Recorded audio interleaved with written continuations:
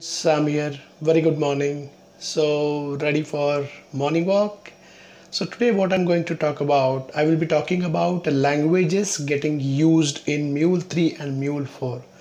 So, in Mule 3, there are three languages MEL, which is Mule expression language. Whenever you write any expression, that is converted into MEL Second one is DWL, DataWeave language. Whenever you write any mapping logic or transformation logic, it is getting converted into DWL. And third one is RAML, which is REST API modeling language, which is used to define services offered by REST API.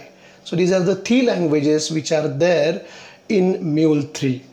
In Mule 4, they have discontinued MEL and they only kept DWL and RAML. So even if you write expression in Mule 4 that is converted into uh, DWL. So do you have to do coding in these languages? Not necessary. Maybe advanced level you might have to do uh, write code in these languages. Okay. So I hope this is useful. Thank you.